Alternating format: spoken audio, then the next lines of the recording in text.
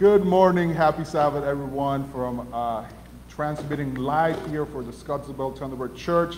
Uh, I know uh, you guys are uh, wanting to get back here. We heard from several of you um, that are wondering when are we opening. Well, we met with the board, and the plan is for June 13. That's when we're going to be able to gather here. Uh, the deacons are making uh, plans and preparations so that we can have safety as we start to gather uh, physically together, but we'll try to remain together uh, emotionally, socially, and most importantly, spiritually. So we want to welcome everybody that's joining. If you want to share this feed uh, with your family, your friends, or uh, leave us a comment. If you want prayers as well, uh, leave those in the comment section. Or if you're watching it at a different time, we thank you for uh, also joining this feed and watching our service from Scottsdale Thunderbird. Today we're going to have uh, Daniel preach, and we're also going to have uh, special music. But before we go into that, please bow your heads for a word of prayer. Dear Jesus, thank you so much for this day. Thank you that you um, are giving us the opportunity to come into all of our wonderful friends and families' homes through the technology. Um, thank you that you've been able to provide the means for us to keep uh, preaching about your love and about uh, the promises that you have for us.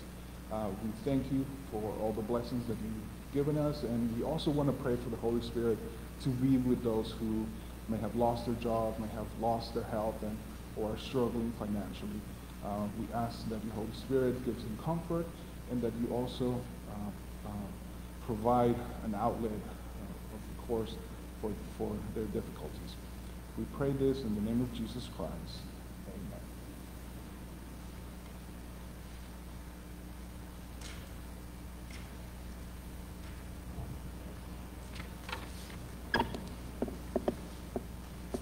Morning, church. Is so happy to be here. Although it's an empty church, I know back at home you are doing well and you are with your loved ones. And the song I'm going to share today with you um, talks about the faithfulness of God. And I, personally, I have experienced His faithfulness many, many times in my life. And something I'm learning to do is to focus on that not to focus on my circumstances, especially now that we are going through this really, really rough time um, together as, an, as a, not as a nation, as a world, uh, and we're social distance and whatnot, but even personally, if you are going through a hard time, whatever it might be, focus on God's faithfulness because he says, I will never leave you, I will never forsake you. He wants to bless us. So let's focus on that instead of our circumstances.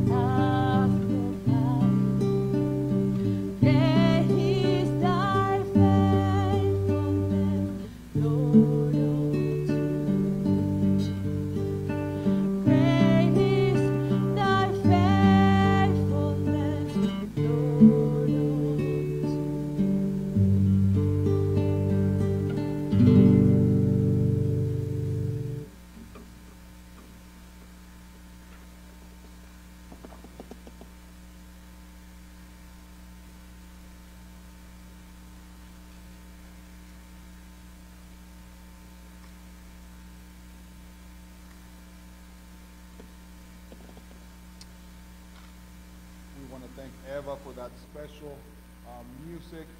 Uh, it's such great to hear uh, that wonderful music, that wonderful lyrics. There's something um, about having that connection to the music and to the lyrics. Um, but I can't wait to, uh, for somebody who can't sing like me, eventually get to heaven and be able to participate with everybody out there uh, singing praises to our Lord Jesus. So I want you to uh, look there in your Bibles. We're going to be doing our scripture reading today from John, John verse, uh, chapter 4, verses 10 and 11.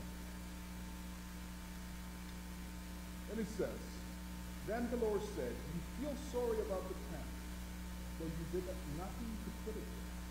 It came up quickly and died quickly. But Nineveh has more than 120,000 people living in spiritual darkness, not to mention all the others. Shouldn't I feel sorry for such a city?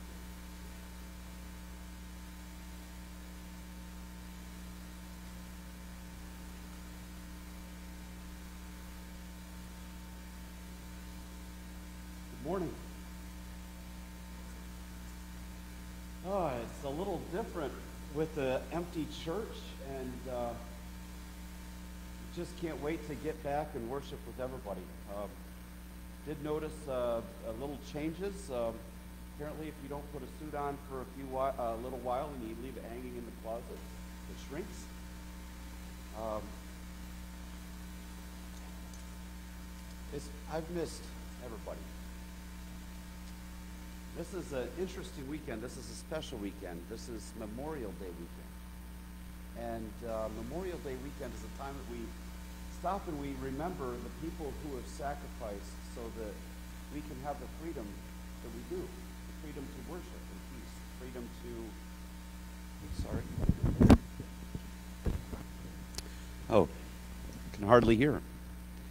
Uh, the freedom to worship in peace. And I think about the people in my family that have sacrificed their life to where we can have the freedom. Um, friends that I've had, friend that uh, died of Agent Orange long after the Vietnam War ended. Um, uncle that I've never met. All the sacrifices that were put in to make this country free and to keep this country free. And I think about Jesus who sacrificed everything he had so that we could have the ultimate freedom. And we're looking at Jonah today. And before we start, uh, let's bow our heads for prayer. Good morning, Father. Thank you so much for your Son. Thanks for the freedom that we have to worship you, the freedom to call you our God and our Father, and the promise that we will be with you soon. Please, I don't want it to be my words, but your words. Please lead in, in this message. I pray in Jesus' name. Amen. I'll be honest with you, this is a little bit strange for me, is normally there's a lot of people or, you know, quite a few people, and I, I like to engage with people. So uh, it's a little bit different. But what's important is the Word of God and understanding his message. So we're talking about Jonah. We're talking about Nineveh. Does anybody uh, know where we find first find the story or mention of Nineveh? We go back to Genesis chapter 10. You're learning about the story of Noah. It's one of the most boring chapters in the Bible where it talks about so and so begat so and so, so and so begat so and so. But you get through it, and, and uh, you come down to, it gets interesting around verse 8. It says, Now Cush became the father of Nimrod. He became a mighty man on the earth, and he was a mighty hunter before the Lord. Therefore, it was said, like Nimrod, a mighty hunter before the Lord. In verse 10, the beginning of his kingdom was Babel, and Erech, and Akkad, and another one, in the land of Shinar. From that land he went forth into Assyria and built Nineveh. But what happened over there at Babel in the land of Shinar? If you skip over to the next chapter, it kind of gives a story of what happened there. And Babel was a place where everybody came together, and apparently Nimrod made a kingdom. And they said, Well, let's make a tower up to heaven and let's make a name for ourselves, our own kingdom. And he started to conquer, it sounds like, nations around him. And God says, Well, this isn't good. So he confused the languages in chapter 11, and we see back in chapter 10 that Nimrod left that area and went and built Nineveh. So Nineveh is an extension of Babel, which became Babylon, which means confusion. And here we see two, two, two, two types of kingdoms. The first type is what the devil pick, uh, sets up. The kingdom that the devil has is I am king, worship me, and the people are there to support the kingdom. The kingdom that God set up, you can see an example of it in freeing the slaves from Egypt, and then God came down and lived with the people. They didn't have a king, they had a God that would serve their needs, a God that loved them and took care of everything that they needed from day to day their food, their water, their clothes. Nothing wore out. Nimrod, the king of Nineveh, started this process in Nineveh, and it grew and grew, and this city became very wicked. If we skip over to Jonah chapter 1.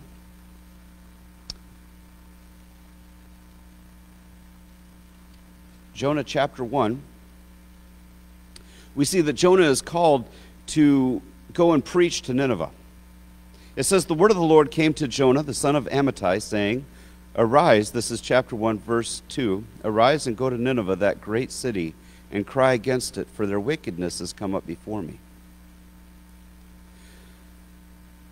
So everything would go great if Jonah had said, Okay, I'll, I'll do what you want. Let me go and, and talk to him, and let me tell him who you are, and let me say what you have to say to them about what's going on in their city. But verse 3 But Jonah rose up and fled to Tarshish from the presence of the Lord. Why would he do that? In order to understand this, it helps if you know a little bit of the history of who Nineveh was, as far as in relation to Israel. So, Nineveh was the capital of Assyria. Assyria was the kingdom that eventually wiped out and destroyed Israel and took everybody that lived in Israel away, who they didn't kill, and then brought other people in and repopulated the area with their own people, which became the Samaritans in Jesus' time.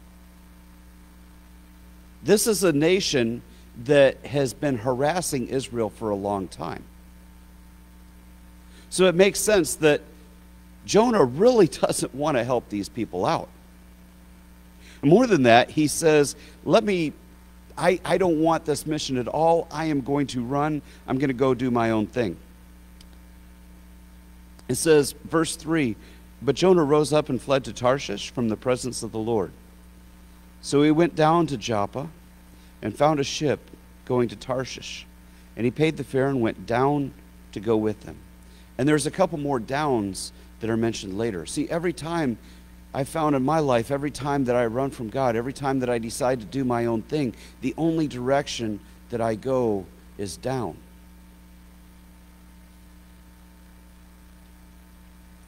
The interesting thing about this first chapter is, as he goes down to the ship, we all know the story. He goes down to the ship, the ship goes out and it gets tossed around with this big uh, storm. And it's important to note that it says that God sent a storm. Now, a lot of times natural disasters happen. COVID, we, we weren't expecting this. A lot of bad things happen, and we start to say, well, what's going on here? And a lot of people blame God. Most of the time, it's not God that does bad things. It's not God that creates storms. It's not God that, that creates bad events that, that happen to us we live in a world of sin, and everything that is bad that happens is a result of that sin. But it says that God caused this storm. See, sometimes God has to wake us up. Sometimes God has to say, You're going in the wrong direction. If I don't do something drastic to stop you, you're going to have disastrous results. So he gets in the ship, and there's this huge storm, and they find Jonah sleeping, and the guy, the, the uh, captain says, Hey, wake up, call on your God. He find out that he's a Hebrew. In verse 10, then the men became extremely frightened, and they said to him, How could you do this? For the men knew that he was fleeing from the presence of the Lord. So they said to him, verse 11, What should we do that the sea may be calm for us? For the sea was becoming increasingly stormy. He said to them, Pick me up and throw me into the sea, then the sea will become calm for you. For I know that it is account of me that this great storm has come upon you. So the question is who said that what they should do was to pick him up and throw him into the water? Was it God's message to say, throw Jonah into the water? Jonah's the one that said, if you toss me in, it'll be fine for you. The idea is that Jonah had decided that he would rather die than go preach to Nineveh. If he would have said, Look, guys, this is my fault. Let me pray to God right now. Let me get my heart right with God. Let me go do what he wants me to do. Jonah would not have had to go through that fish experience. But he decided to do things his own way. And he would rather die than to go preach to Nineveh. So they picked up, I, I love this part. In verse 13, however, the men rowed desperately to return to the land. They could not, for the sea became even stormier against them. See, the people, we would expect the heathens to be like, okay, you said if we throw you in, everything will be good for you. You're gone. Let's go. But the people that we would expect in the story to be the most ruthless people, the people that were not the Israelites, the people that were not following God, they were the ones that said, Hey, wait a minute, your life is precious to us. We want to do everything we can in our power to make sure that you can be saved.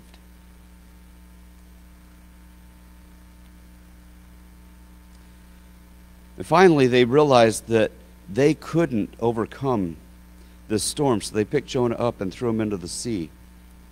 It says, verse 15, the, the sea stopped raging. Then the men feared the Lord greatly, and they offered sacrifice to the Lord and made vows. Those people in the boat were converted from that experience. How about Jonah? In verse 17, then the Lord appointed a great fish to swallow Jonah, and Jonah was in the stomach of the fish three days and three nights. And let's skip to chapter 2, verse 1. Then Jonah prayed to the Lord his God from the stomach of the fish. I remember there was no chapters and verses for centuries after this was written. So in the original text, this just flows. So the way the story goes is Jonah is thrown into the water. God created a big fish to, to swallow him up. And he's in that fish for three days. Then he prays. I heard someone say it, it, there, was a, there was a conversation where there was a person wor- working on a telephone line. And uh, he was overhearing a conversation between two pastors about which was the best way to pray. And one says, well, you should bow your head and close your eyes and, you know, be extremely reverent. And the other guy said, no, you should raise your hands and, and look to heaven and praise God for who he is. And the repairman couldn't hold it in any longer. He says, you know, when I do my best praying, it's when I'm hanging upside down from a telephone pole. The idea is when we are in the greatest danger of our lives, we cry out to God. Now, Jonah has been in a storm which seemed very deadly to everybody around him. He's been thrown into the water, which, if nobody is around, no boaters around, stormy sea, he would probably drown. He's been swallowed by a fish, and it takes him three days in the stomach of a fish before he prays. Now, some people look at this and say, well, this is an allegory, obviously, because, uh, first of all, a whale can't swallow a man. And second of all, I, I saw where a snake swallowed an alligator. And it took three days to dissolve that alligator and the snake. The, the alligator was bigger than the snake's stomach, so it would dissolve some, and then it would move it in and dissolve more. But still, there was nothing left that that alligator could survive after part of the first day from being absorbed in that stomach. So, how can a man be in a belly of a fish for three days and still be alive? And the key to that is that the text says that God prepared this fish. It doesn't say it was a whale, it says it was a fish. Looking at my time here. So he prays and he, he gets vomited out.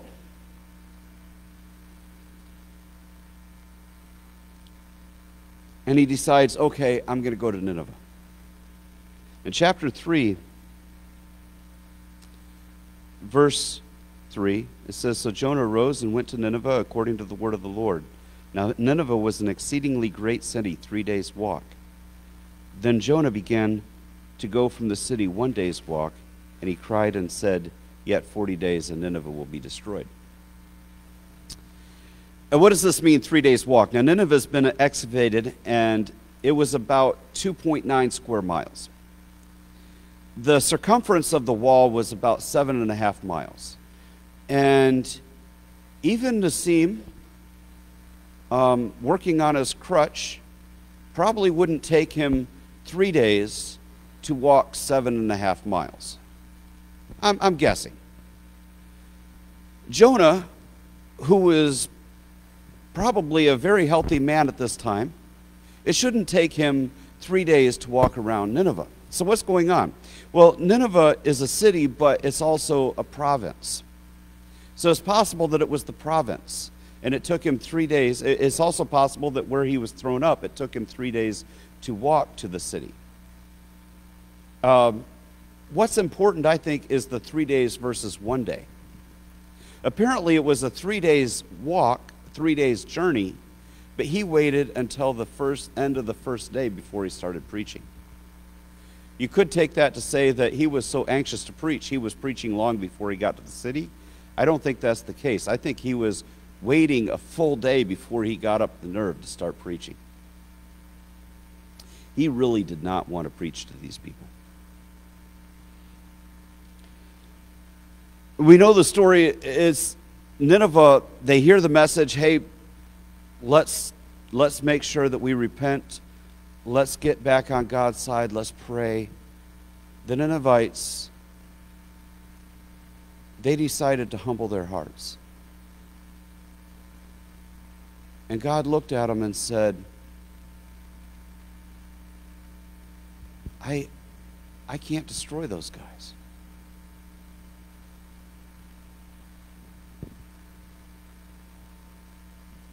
So Jonah sits up on a hill and he waits for the city to be destroyed. And when it doesn't, he gets mad. It says, chapter 4, verse 1 But it greatly displeased Jonah, and he became angry. And this is the heart of why he ran. He said, He prayed to the Lord and said, Please, Lord, was this not what I said while I was still in my own country? Therefore, in order to forestall, uh, forestall this, I fled to Tarshish. For I knew that you were a gracious and compassionate God, slow to anger and abundant in loving kindness, and one who relents concerning calamity. Jonah says the reason he fled was because he knew if he preached to Nineveh, they might actually repent and decide to do what God wants. decide to have a relationship with God, decide to humble themselves before God. And if they did that, God might not destroy them. In other words, he hated the people in Nineveh so much that he was willing to give his own life if only they could be killed.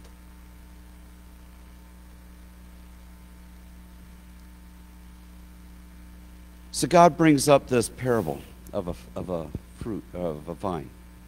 He's sitting up on this hill. He's, he's getting tortured with the heat, and God brings up a vine to shade him. So now he's all happy. He can sit there and relax, waiting for the destruction of his enemies. And then God sends a worm, and the vine withers, and now he's got to face the heat again. And he gets mad at the vine that has died. In verse 10 in chapter 4, in verse 9, then God said to Jonah, Do you have a good reason to be angry about the plant? And he said, I have good reason to be angry, even to death. Then the Lord said, verse 10, If you had compassion, he said, You had compassion on the plant for which you didn't work, which you didn't cause to grow, which, you came, which came up overnight and perished overnight. Should I not have compassion on Nineveh? The great city in which there are more than 120,000 persons who do not know the difference between their right and their left.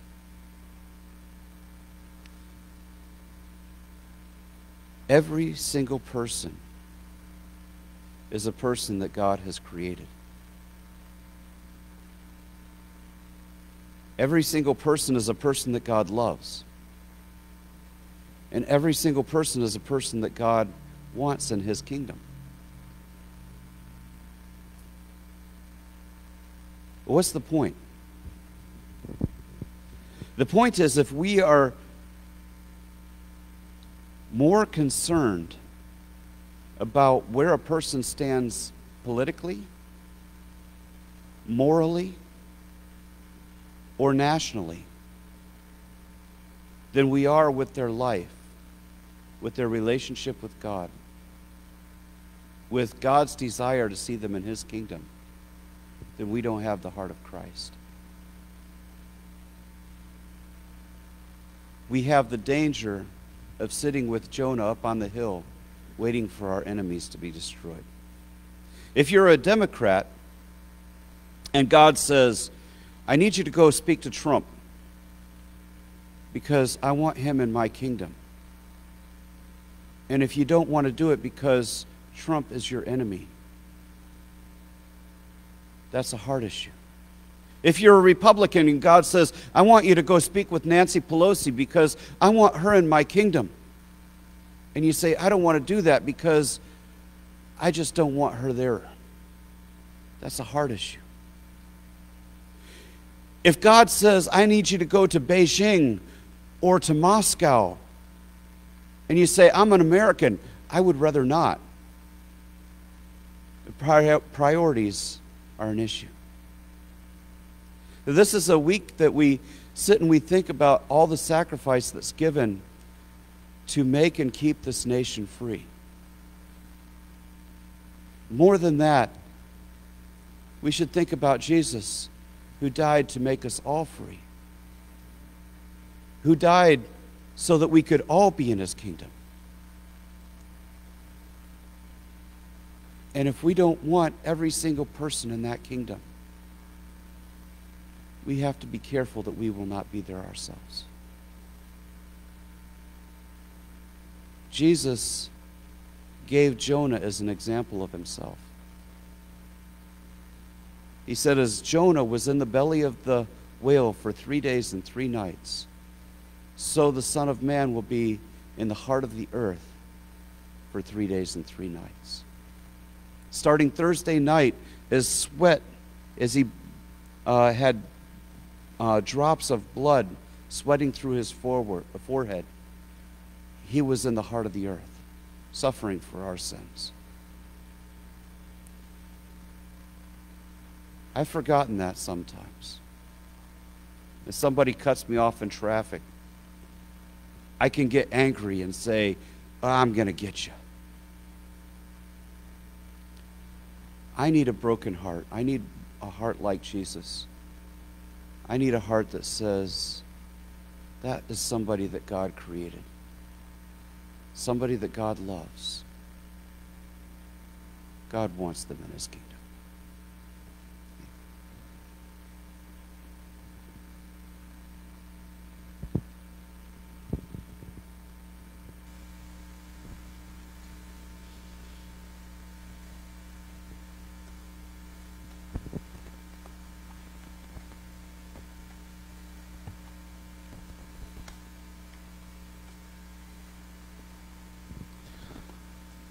Thank you, Dan, for such a, an important message and an important reminder that everybody, every single person, maybe, maybe it doesn't have to be somebody so far in China or Russia. Maybe it's a family member. Maybe it's that neighbor. Maybe it's that friend. They're also creatures of God. We're all created in His image. And we need to pray for them and we need to witness if we are called. Maybe reluctantly, like Jonah, but still, it's up to us to witness about that love that Jesus Christ has for all. So, we are going to be closing in prayer. Um, I know George also mentioned in the comments that he wants us to be praying for uh, our pastoral search. We do have an interview this week. Um, we're putting this in, in God's hands. And if you have other prayer requests, you can let us know. We're trying to keep that unity within the church through prayer, through these meetings, through Bible study as well. So we're trying to utilize as many channels uh, and venues as possible to re- remain connected. And hopefully, as we grow stronger as, a church, we can also start inviting those others uh, around us, family members, people in the community. But uh, bow your head down wherever you are as we're going to finish with a word of prayer. Dear Heavenly Father, thank you so much for this day. Thank you for this message. Thank you for your love for us and, and how you are so patient. And even when we, we don't want to listen, we go the other way and we might be stubborn. I, I can certainly identify with stubbornness and, and help me recognize that and, and allow your love work in my heart so that we can uh, really listen to where you want us to lead us because you have such tremendous love that we need to continue sharing this message of love, salvation, and redemption through your Son, Jesus Christ. Amen. Thank you, everybody.